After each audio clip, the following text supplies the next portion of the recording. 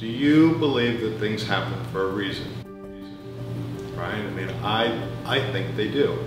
And the day I took this picture was a bright sunny morning and I decided I was going to take myself for a ride up to places in Vermont I'd never been and I was driving along and all of a sudden I saw clouds in the distance and I thought, oh, it's going to turn to, you know, to mush.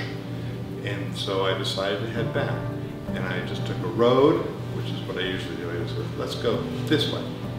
Off I go. And, you know, just down the road, I found this barn. And I pulled up, yeah, in fact, I went right by it. Then I had to back up and find a place to park. And it was a place to park right across it. And as I got out of the car, it started snowing. And everything came together just at that moment. And I, and I don't know how to explain it. It's not like I planned it. It's not like I sought it out, it just happened.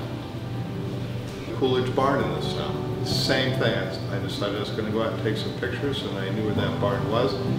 And so I went out, pulled up, up the road, lifted up the hatch of my car, stood underneath it so the snow didn't come all over the camera, and was able to photograph that barn in, in a raging snowstorm.